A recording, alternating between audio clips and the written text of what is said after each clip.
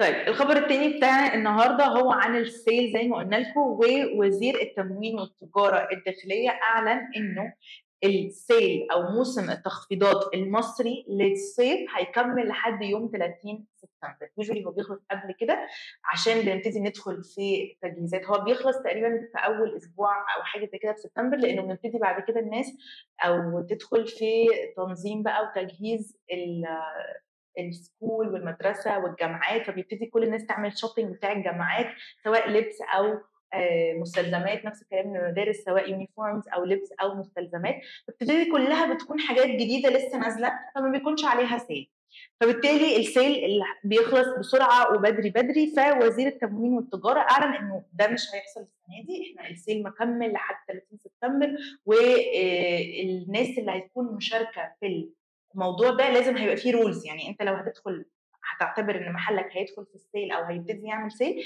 لازم تتبع rules معينة. الموضوع مش هيكون عشوائي.